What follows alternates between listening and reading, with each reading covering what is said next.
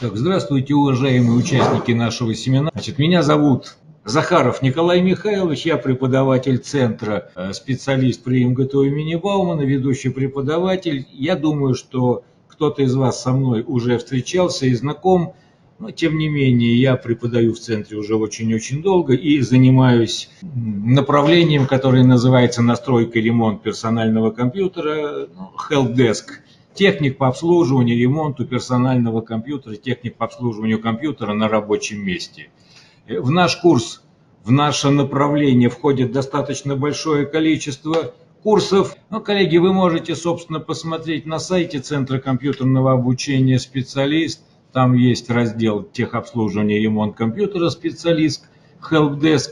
Цель нашего, нашей сегодняшнего семинара, нашей сегодняшней встречи. Если говорить о курсе техническое обслуживание и ремонт персонального компьютера, то на этом курсе мы занимаемся техническими средствами персонального компьютера, достаточно подробно разбираем работу, технические параметры э, основных функциональных узлов – Именно основных, потому что на курс отводится не очень большой промежуток времени. Теоретическая часть курса это всего 16 академических часов. Соответственно, преподавателям курса надо за 16 академических часов успеть рассказать слушателям, что такое персональный компьютер. Электронно-вычислительные машины, как вы все понимаете, устройство не очень простое, но тем не менее практика показывает, что все достаточно здорово, и мы все это дело успеваем. Но, тем не менее, вот э, говоря о основных функциональных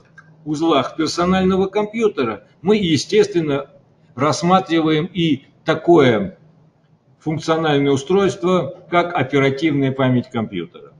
Оперативная память современного компьютера, ну, давайте так скажем, вещь достаточно капризная. Для того, чтобы оперативная память правильно в компьютере работала, чтобы все свои возможности могла отдать.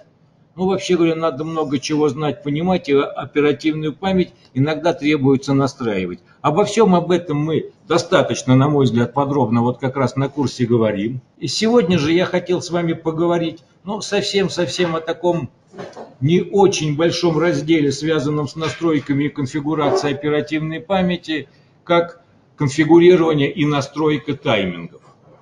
Ну что такое тайминги буквально через несколько секунд?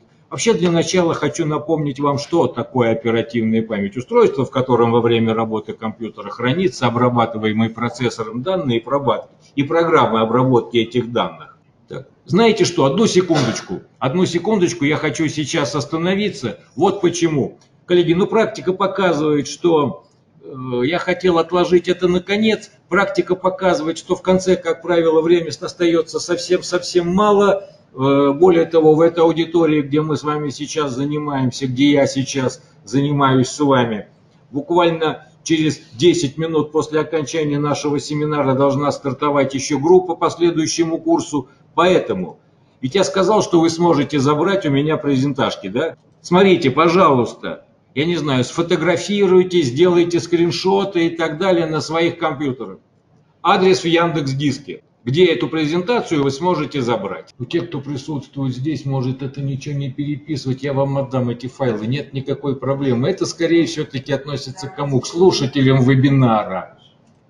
Более того, я вам эту презентажечку вживую отдам. Ну, вам это не очень, собственно, сейчас актуально. Ну, я думаю, вы представляете себе, как, собственно, работает с Яндекс Диском, но, тем не менее, на всякий случай. Вот я эту ссылочку скопировал, сейчас я запущу ну, какой-то браузер, у меня это в данном случае будет Explorer, не суть важно, какой браузер. Пошел по этой ссылочке, пошел по этой ссылочке, вот посмотрите, презентация, и можно ее скачать себе. Вот давайте этот вопрос сразу решим а потом, собственно, непосредственно к тематике наших занятий приступим. Значит, еще раз. Вот ссылка на Яндекс Диск, где вы сможете забрать себе эту презентацию. Давайте я уберу, может быть, еще пригодится. Так вот, возвращаемся, собственно... Сейчас можно ее кинуть, ссылку? Нет. Вы ее, пожалуйста, сфотографируйте, скриншот сделайте и так далее. Я не могу вам сейчас каждому на почту эту ссылку кинуть, коллеги. Так вот, оперативная память устройства, в котором хранятся обрабатываемые процессором данные и программы обработки этих данных. Как я уже сказал, вещь, которая, устройство, которое требует в современном персональном компьютере особого внимания и настроек, конфигурирования и так далее. И, соответственно, достаточно большого количества знаний о том, как все это нормально функционирует. Ну, я напоминаю, оперативная память э, современного компьютера строится на ячейках так называемой динамической памяти. Коллеги, здесь об этом все написано. Э, основой запоминающей ячейки динамической памяти является такой электрорадиоэлемент, как конденсатор.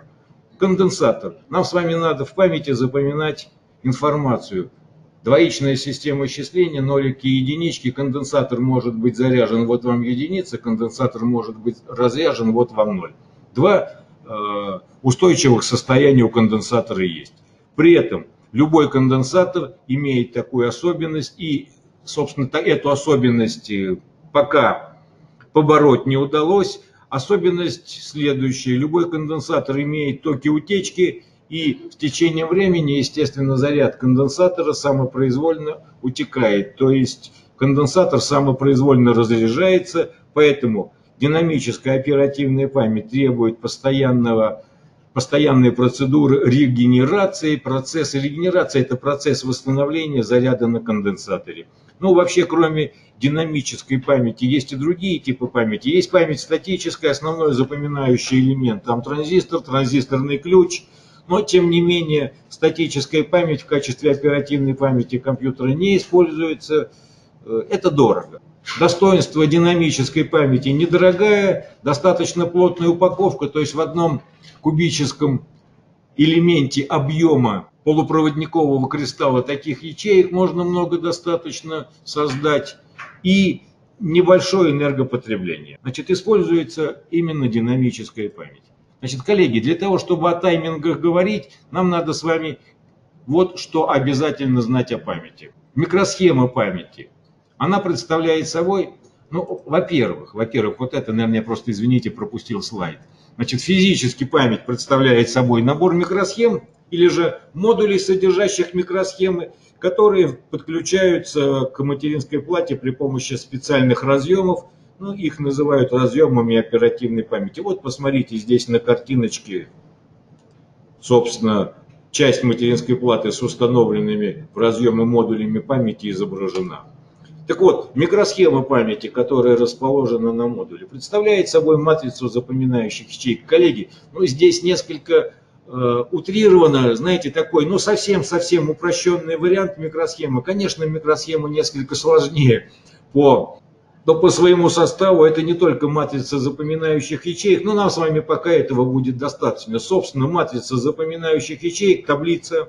С таблицами мы все работать умеем. Для того, чтобы какую-то конкретную ячейку памяти адресовать, для того, чтобы какую-то конкретную ячейку таблицы адресовать, на микросхему памяти последовательного времени выдают два сигнала. Первый сигнал называется сигнал выбора адреса строки раз – После того, как на микросхему приходит сигнал выбора адреса строки, происходит процедура активации строки. Активация строки, но это сейчас вот для нас, для нашего понимания. Все ячейки памяти в строке расположенные подготавливаются к чтению.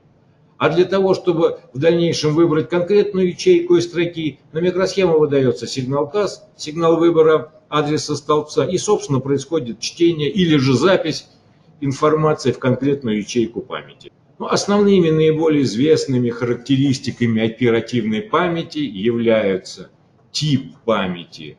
Тип памяти – это ее физическая организация. Сейчас э, в персональных компьютерах используется память, так называемая синхронная, синхронная динамическая память – и за время существования персональных компьютеров через их архитектуру прошло достаточно большое количество э, типов синхронной оперативной памяти. Это была память просто SDRAM, синхронная динамическая память. Потом на замену ей пришла память DDR, SDRAM, DDR2 SDRAM, DDR3. Мы иногда, когда называем эти типы памяти, мы отбрасываем SDRAM. Говорим просто DDR, DDR2, DDR3, DDR4. Но это, наверное, пока последний тип памяти, который используется в современном персональном компьютере. Обещают нам появление DDR5. Ну, появится, будем рассказывать, естественно, о DDR5. Ну, чем эти типы памяти один от другого отличаются? Вот как раз на курсе техобслуживания и ремонт компьютера, на который, я думаю, вы придете ко мне когда-нибудь, чтобы обо всем этом говорить гораздо подробнее, я вам расскажу. Так вот, тип памяти, объем, ну понятно, объем оперативной памяти. Здесь, э, в отличие от многих других параметров, можно подходить ну, с, таким, с таким понятным подходом, э, что маслом кашу не испортишь, оперативной памяти. Вообще памяти не бывает много. Памяти всегда, как правило, не хватает. Так вот, объем, соответственно, тактовая частота или же пропускная способность шины памяти, обо всех этих характеристиках будем говорить когда-то там вот на курсе. Но помимо этих вот всем хорошо известных параметров, э, память характеризуется еще и так называемыми временными задержками или же таймингами. Значит, тайминги оперативной памяти, временные задержки, то есть это какие-то временные интервалы. Вот что, коллеги, интересно, что тайминги, и это очень важно, это надо знать и понимать, что тайминги оперативной памяти задаются, конфигурируются не в единицах измерения времени, а тайминги оперативной памяти задаются или конфигурируются в количестве тактов рабочей частоты шины памяти. Синхронная память на модуль памяти по шине. Тот интерфейс, тот набор проводников, который модуль памяти связывает с контроллером памяти, выдается по проводнику набор серии синхросигналов, которые следуют один за одним. Так вот, для того, чтобы какая-то операция в модуле памяти происходила, необходимо, чтобы на модуль памяти пришел синхросигнал. Так вот, тайминги определяются не временными задержками, не секундами, то есть не временными параметрами, там, не секундами, миллисекундами и так далее, а определяются количеством тактов рабочей частоты шины памяти. Давайте я, коллеги, напомню вам, а что, собственно, такое такт? Ага, напомню, а не напомню. Вот посмотрите, временной интервал время. Вот от начала этого синхросигнала до начала этого синхросигнала это один такт. Соответственно, от начала этого до начала этого это два такта и так далее, и так далее, и так далее, и так далее. Так вот, временной интервал задается не в секундах, а именно в количестве тактов рабочей частоты шины памяти. Почему я говорю, что это очень важно понимать и знать?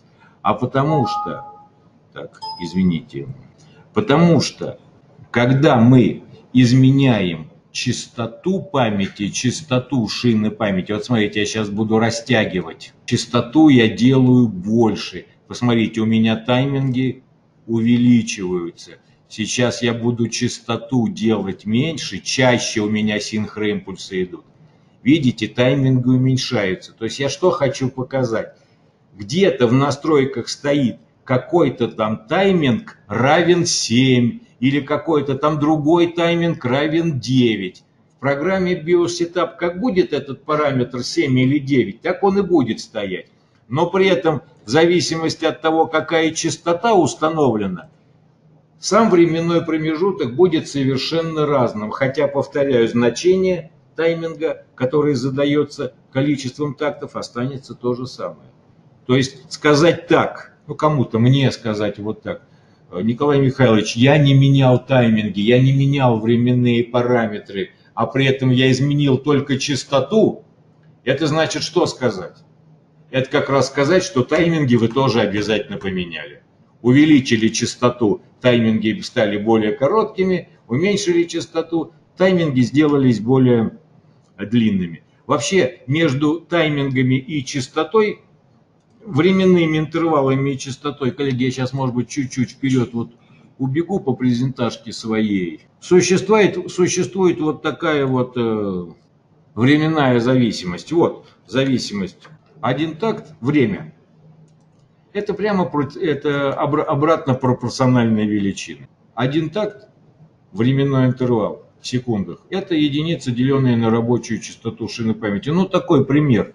Такой просто пример, смотрите, у нас частота, ну давайте, это нереальные частоты, тут сейчас идет другой курс. Так, ну, например, естественно, с такими частотами сейчас память не работает, ну просто как бы так ради интереса, да. Вот частота 100 МГц. 100 МГц частота, один так чему будет равен? 10 наносекунд, надо единичку разделить на 100 МГц. 10 наносекунд. А при частоте 200 МГц чему будет равен один такт? Он будет равен уже 5 наносекундам, но при этом сам параметр, сам тайминг как был указан в один такт, так и будет указан в один такт. Ну, я думаю, что все это, все это уже давным-давно поняли, и я, наверное, слишком уж подробно и много об этом говорил. Так вот, изменение частоты, естественно, влечет за собой изменение тайминга. Ну, стандартами, стандарты оперативной памяти современного персонального компьютера утверждаются и разрабатываются вот такой инженерной организацией, которая называется GDEC. И, собственно, именно эта организация определяет э, характеристики э, временные, скоростные параметры существующих типов оперативной памяти. Так вот, вообще говоря, в стандарте GDEC определено, коллеги, давайте я скажу, очень большое количество различных таймингов, несколько десятков различных таймингов. При этом есть группа таймингов, которые принято называть основными. Основными называют четыре тайминга, и в маркировке модулей памяти обычно вот эти четыре тайминга указываются – я вам сейчас попробую немножечко как бы вот физический смысл именно этих четырех таймингов и рассказать. Так вот, я сказал, да, посмотрите, вот у меня есть модуль памяти, ну, не, не, у меня в данном случае фотография, да, фотография модуля памяти, и посмотрите, вот в маркировке памяти последовательность из четырех цифр. Последовательность из четырех цифр 9, 9, 9, 24 это как раз и указаны вот эти вот основные тайминги. Но ну, разработчик модуля, чтобы нам с вами было проще, указывает в маркировке. Причем тайминги в маркировке модуля задаются всегда в жестко определенной последовательности. Это определено стандартом GDEC. Первый TCL, TRCD, TRP, TRAS. Об этих таймингах я вам сейчас расскажу. Вообще говоря, тайминг, временная задержка – это физический параметр микросхемы. Насколько хорошо микросхема, кристалл получился у изготовителя модуля памяти. Поэтому бывают микросхемы с большими задержками, с меньшими задержками. Ну, понятно, если мы говорим о памяти, чем меньше задержки, то есть чем меньше тайминги – тем, естественно, скорость обращения, скорость работы оперативной памяти будет выше при всех остальных прочих условиях. Так вот, э, изготовители модуля памяти определяют стандартные значения, значения по умолчанию, и сам модуль памяти, собственно, знает, какие тайминги для него изготовителем определены. На модуле памяти, в современном модуле памяти обязательно присутствует вот такая небольшая микросхема. Называется микросхема SPD Serial Presence Detect. Это небольшая флеш-память, небольшой кусочек флеш-памяти, куда, собственно, изготовитель модуля записал параметры этого модуля. И, соответственно, настраивать параметры памяти, настраивать тайминги пользователь компьютер может либо вручную, либо говорить, что настройки будут происходить автоматически, то бишь по СПД. Как посмотреть? Давайте сначала не на настройках, а как посмотреть тайминги оперативной памяти, которая установлена в вашем персональном компьютере. Ну, коллеги, здесь много программ, причем множество бесплатных программ, которые позволяют посмотреть различные параметры компьютера. Одна из таких вот э, бесплатных программ, мне очень нравится эта программа. Коллеги, она постоянно обновляется, она действительно бесплатная. Называется эта программа CPU-Z. Она устанавливается, устанавливается она буквально там в течение трех секунд. После этого, после ее установки, она запускается, окошко, много-много различных вкладочек, можно получить информацию об различных устройствах компьютера, в том числе информацию об оперативной памяти. Вот посмотрите модули памяти. Модуль памяти, вот посмотрите эти самые тайминги, о которых мы с вами сейчас будем говорить. Причем вот здесь в программе CPU-Z указаны еще и дополнительные, дополнительные несколько, вот ну, в данном случае два дополнительных тайминга, которые ну, чаще всего не относят к основным. Так вот, об основных таймингах давайте мы с вами поговорим. Что это такое? Ну, для того, чтобы поговорить о таймингах, давайте вот так мы с вами поступим. Я сейчас попробую вам немножечко порисовать. Коллеги, ну извините, буду рисовать в блокноте. Качество, ну относитесь, соответственно, с пониманием к тому рисунку, который я сейчас делаю. Я рисую микросхему памяти. Вот мы с вами сказали, микросхема матрица запоминающих ячеек. Микросхема структура несколько более сложная, чем просто матрица запоминающих ячеек. В микросхеме есть вот такой вот еще выходной усилитель, выходной буфер. Прежде чем электрический сигнал, который будет считан с микросхемы, попадет в мир и будет по шине, по проводнику передаваться, его необходимо усилить, сформировать и, собственно, после этого уже отправлять на шину. Поэтому вот такой вот выходной усилитель. Вот это вот микросхема.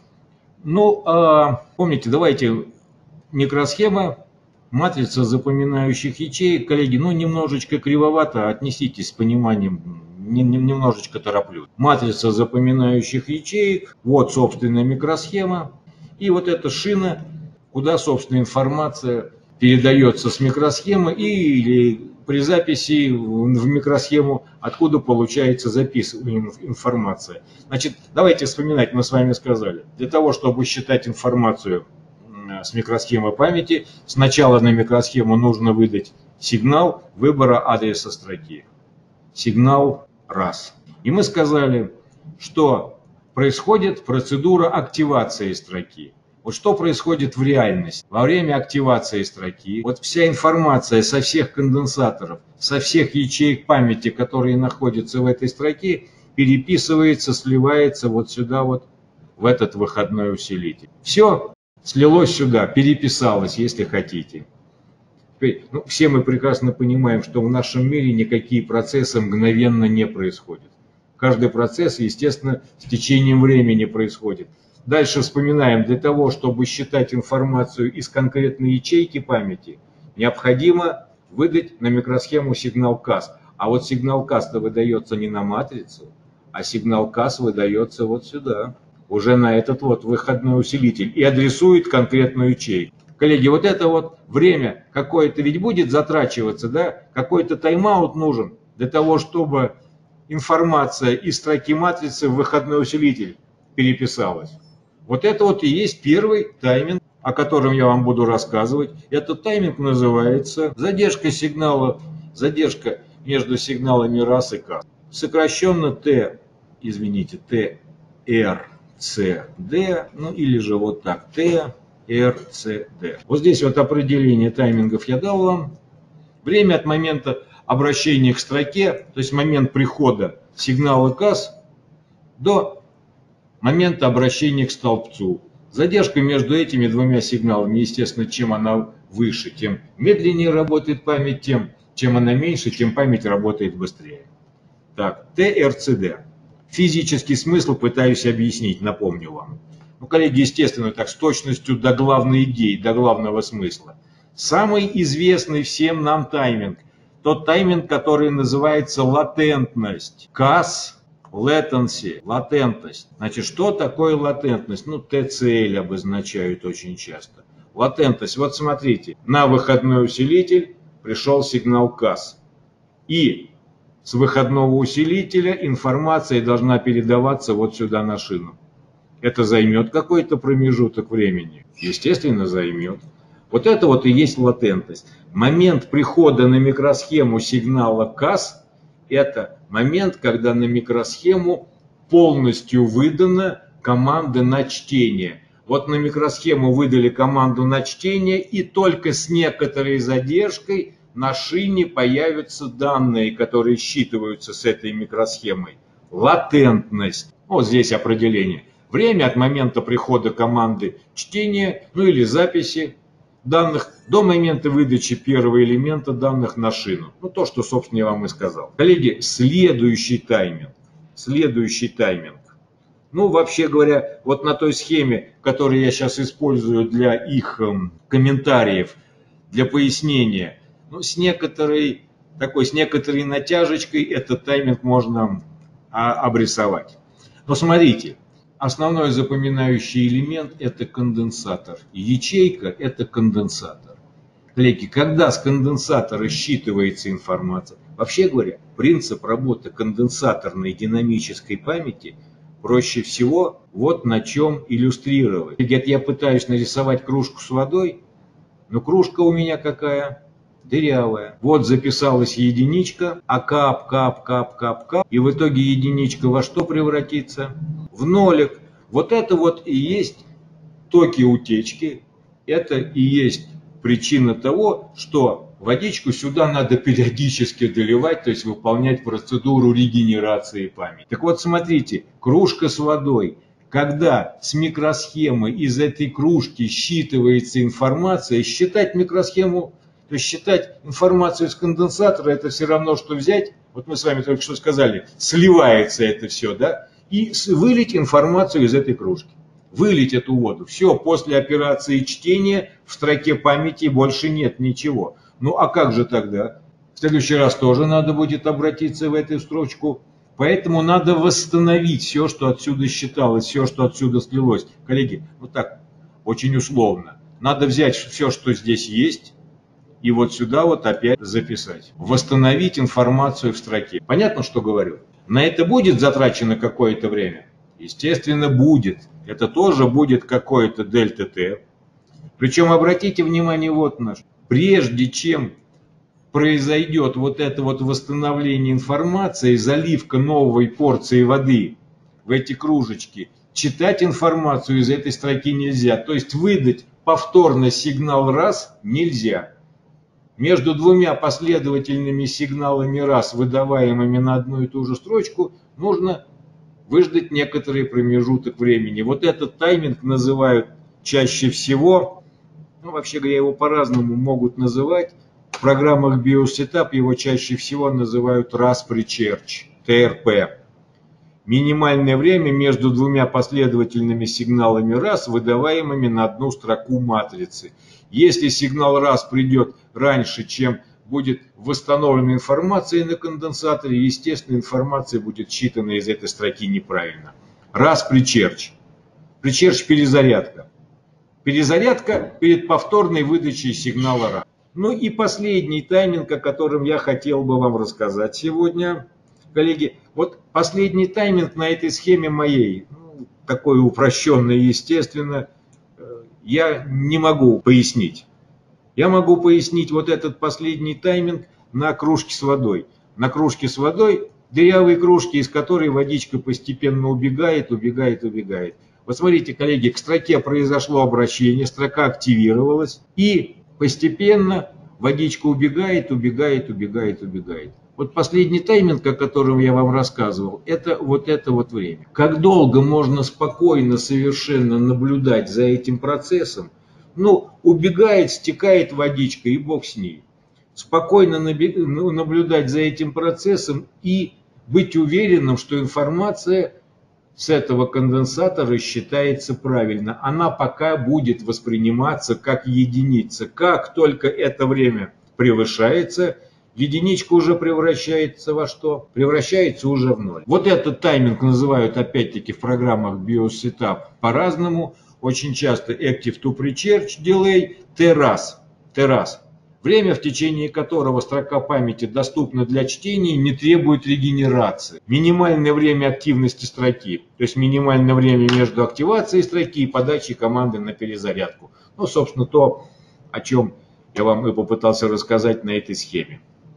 Вот, коллеги, как бы основные тайминги. Ну, как я уже сказал, GDEC таймингов, э, характеризующих Э, работу оперативной памяти определяет там больше, чем два десятка, это точно совершенно. Вот здесь, видите, команда CPU-Z, то есть программа CPU-Z. Вообще вот что я вам хочу сказать. Эту, эту замечательную программу вы можете совершенно бесплатно получить, коллеги, вот с этого сайта cpuid.com, cpuid.com. Там есть несколько очень достойных, на мой взгляд, совершенно бесплатных программ. Вот одна из них CPUZ. Вот, ну посмотрите, вот в программе CPUZ на вкладочке «Память» указывается еще два тайминга. Ну, они даже в программах BioSetup не всегда указываются, но тем не менее, вот еще два тайминга. Тайминг TCR или же CR, Command Rate. Время, необходимое для декодирования контроллером команд и адресов. То есть, если утрировать, это время между двумя последовательными любыми командами, которые контроллер памяти устройства управления памятью может выдать на модуль. Выдал команду на чтение, Вторую команду на чтение он должен выдавать с некоторой задержкой. Выдал команду на чтение, а потом команду на запись он должен выдавать с некоторой задержкой. Вот этот command rate определяет вот это время между двумя последовательными командами, которые выдаются на модуль памяти. И это время сейчас в современных системах равно либо один так, либо два так. Ну, естественно, естественно, чем меньше, тем лучше. Если один так, то память работает быстрее. Ну а ТРФЦ это что такое? А это минимальное время между двумя циклами регенерации.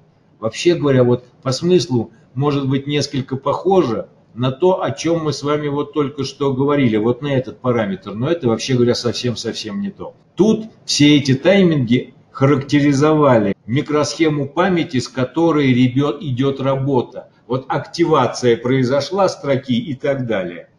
А это время вот это время, определяет, как часто нужно регенерировать память, если из этой строки ничего не читается. В какую-то строчку памяти записали что-то, вот в какую-то строчку памяти записали какую-то информацию, но обращения к ней нет.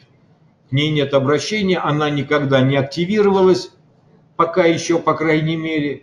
Так вот, ну это же кружка с водой дырявая. Вода-то будет отсюда убегать, заряд будет стекать, Поэтому вот этот тайминг, который здесь определен в программе CPUZ, это время между регенерациями вот этой неактивной строки. Так, ну это, как вы можете посмотреть, тайминги для оперативной памяти, использующиеся в вашем компьютере. Теперь, коллеги, как можно настраивать? Настраивать тайминги можно в программе BIOS Setup. Настраивать тайминги можно двумя способами. Ну, посмотрите, вот где-то в программе BIOS Setup есть. В данном случае, ну понятно, что в программах биосетап различных параметры будут как-то по-разному называться, в разных местах этой программы располагаться. Сейчас я вам покажу как бы последовательность, как добраться до таймингов одной из современных программ Setup. Я сделал скриншотики с нее. Вот посмотрите, где-то в программе Setup параметр, э, выбор таймингов, драм тайминг. И посмотрите, параметр может принимать значение либо авто, либо нам подчеркнули авто, это значит по той информации, которая написана в микросхеме СПД. Либо же этот параметр можно поменять с авто на manual, ручная настройка. Вот под этой строчкой в программе BIOS присутствует набор таймингов, которые мы изменять можем. Когда режим авто, вот этот набор таймингов, он блекленький, неактивный, мы просто можем посмотреть, какие тайминги сейчас установлены. Если же мы переводим этот параметр в режим manual, у нас эти строчки активируются, становятся яркими, и мы можем вводить вручную, указывать тайминги для оперативной памяти. Ну и посмотрите, здесь вот, собственно, показано, в каких пределах эти тайминги, эти параметры можно было менять. Надо точно совершенно понимать, что для каждого типа памяти, для каждого модуля памяти, вот предел изменений, вот эти вот циферки, которые здесь будут появляться, они, собственно, могут быть разными. Ну и, коллеги, вот смотрите, я для примера, для примера взял скриншоты ну, с достаточно современной программы BIOS Setup, так называемый UEFI BIOS, красивый оконный интерфейс, мышка может работать и так далее. Ну давайте будем считать так. Включили компьютер, понажимали, понажимали кнопочку Dell или кнопочку F2, и у нас запустилась программа BIOS Setup, в которой мы можем настраивать различные параметры персонального компьютера. Значит, для того, чтобы добраться до настройки конфигурирования таймингов, вот в этом варианте программы BIOS Setup, используем кнопку «Дополнительно», переключаемся в дополнительный режим. В дополнительном режиме перед нами окошко, котором несколько вкладок. Нам надо вот в этом варианте, еще раз подчеркиваю, программа BioSetup, переключиться на вкладку Твикер, АИ Твикер, интеллектуальный Твикер. И посмотрите, здесь мы видим параметр управления временными параметрами драм. Ну, коллеги, это хорошо, естественно, что вот сейчас у меня здесь русскоязычный вариант программы BioSetup. В англоязычном варианте ну, будет написано фактически все то же самое в английском, соответственно, языке. Но тем не менее, давайте русскоязычный вариант рассмотрим. Управление временными параметрами памяти. Щелкнул сюда мышкой и увидел те самые тайминги, которые программа позволяет изменять. Коллеги, я специально взял эту программу для примера, потому что вот больше таймингов, большее количество таймингов, которые разработчик программы дал нам поменять, я ни в одной программе больше не видел. Но это действительно, знаете, такой феномен. Во-первых, смотрите, вот то, что я говорил, основные временные параметры, основные тайминги, те основные четыре, о которых мы с вами говорили, плюс вот этот самый command rate. Дальше, ниже, второстепенные параметры. Еще, оказывается, есть с точки зрения разработчика третьи степенные параметры. Иногда, коллеги, они под таймингами называются. Ну, естественно, их такое огромное количество. Нам с вами, как правило, если мы начинаем что-то там менять и настраивать тайминги, достаточно вот этого, этих возможностей, которые основными временными параметрами или основными таймингами называются. Вот так в программе BioSetup можно тайминги настраивать. Ну, коллеги, здесь я показал кусочек, ну, такая, знаете, более ранняя версия программы BioSetup, текстовый такой режим, и тоже обратите внимание. Вот возможность настраивать тайминги, и опять разработчик программы говорит, вот есть тайминги основные, а это все какие-то дополнительные тайминги, иногда их под таймингами называют. Ну, разные программы BioSetup, как я уже сказал, разное количество таймингов позволяет изменять. И самый главный вопрос, а для чего, собственно, менять тайминги? -то? Ну хорошо, поставили в программе BioSetup Auto, и все замечательно работает. Вообще говоря, в большинстве случаев мы с вами так с компьютером со своим и поступаем. Есть автонастройки, и все должно замечательно функционировать. При этом изменять тайминги, когда нужно. Ну, коллеги, есть такое понятие разгон. Разгон компьютера, разгон устройств компьютера. Разгон это что такое? Разгон это попытка заставить различные устройства компьютера работать с более высокими частотами, то есть быстрее, чем для них предусмотрел изготовитель. Разгон – это сейчас очень популярная методика. Ну, во что могу сказать? Вот скажите, пожалуйста, не мечтали каждого из нас за меньшие деньги купить более производительную, более быструю систему? Если вы мне скажете нет, я не поверю. А разгон, посмотрите, разгон это собственно есть, что денег заплатил за устройство меньше, а пытаюсь заставить его работать быстрее, как будто я купил более дорогое устройство. Так вот, во время разгона, естественно, пользователь может пытаться менять тайминги. При этом тайминги во время разгона можно менять как и в сторону уменьшения, а иногда, а иногда и в сторону увеличения. Почему? Ну потому что на современную оперативную память, на современные модули памяти. Изменение в меньшую сторону таймингов, хотя и оказывает влияние, коллеги, но поверьте мне, очень-очень незначительно. Изменение таймингов, да, повышает производительность памяти, но это, знаете, это несколько единиц процентов, обычно, ну, в пределах 10 процентов. Ну, а с другой стороны, а почему бы нет? Здесь немножко, там немножко и там немножко, а в итоге система начинает работать. Гораздо более серьезно на увеличение производительности влияет изменение частоты. Частоту памяти увеличивают, соответственно, производительность будет расти больше, чем при уменьшении таймингов. Но при этом смотрите, штука какая, вот я сказал, что при разгоне иногда сами тайминги-то приходится чуть-чуть увеличивать. А почему? А потому что, как мы с вами это только что все а, рассматривали, потому что когда мы увеличиваем частоту, мы тем самым физическое значение тайминга, сам временной интервал, что с ним делаем?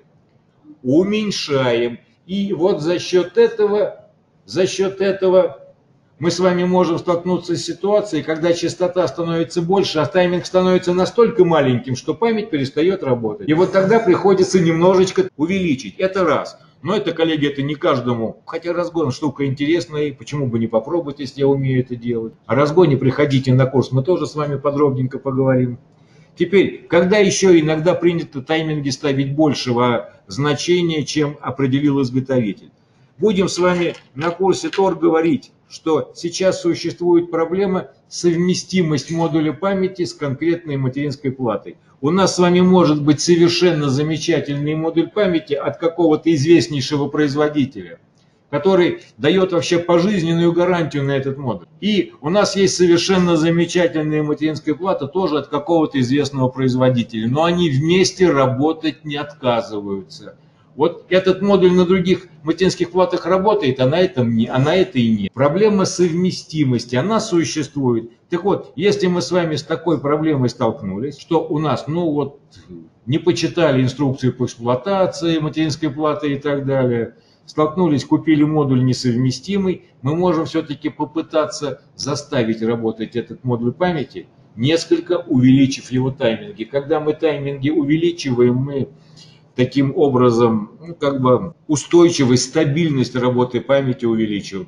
Да, в моей практике были такие случаи, когда несовместимый модуль начинал функционировать только лишь потому, что я несколько увеличивал тайминги по сравнению с теми, которые были определены для него изготовителем. Ну, вообще говоря, при, настрой, при ручной настройке таймингов рекомендуется изменять значение постепенно, не сразу, знаете, так, от начала до конца. Там было от единички до 10 можно менять, Значит, не надо либо 10, либо единичку сразу ставить. Постепенно изменяются значения.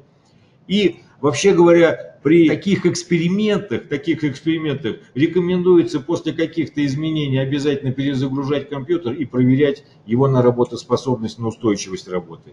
Если в компьютере появляются какие-то сбои, синие экраны смерти, или у вас на экране начинает появляться сообщение, там, память не может быть read и так далее, но это значит, что ваши изменения э, в характеристике, в тайминге как бы оказались неработоспособными, надо идти в программу и поменять их назад. Ну, естественно, практический результат, насколько будет изменяться производительность системы, будет в итоге зависеть от конкретного вычислительного процесса, который вы на своем компьютере используете. Чем, собственно, занимаетесь вы на своем компьютере. Ну, коллеги, а в заключении, собственно, я здесь подвел итог, и все, что мы сказали о таймингах здесь числовые параметры относятся к числу важнейших, следует руководствоваться следующим правилом. Чем меньше будет значение таймингов для модулей одного типа, работающих на одной тактовой частоте, тем, естественно, лучше номинальные значения в АЗУ, в СПД и Пользователи могут менять эти значения самостоятельно вручную. Коллеги, это все, что я хотел вам рассказать про тайминги оперативной памяти за тот маленький промежуток времени, за 45 минут, которые для нашего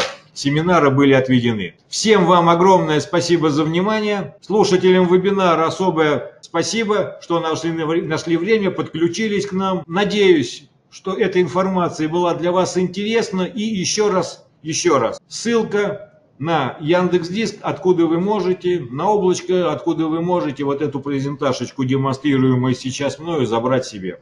Все, коллеги, к сожалению, сейчас тут должны начаться следующие занятия, поэтому всего вам доброго, спасибо за внимание и ну, до следующих встреч.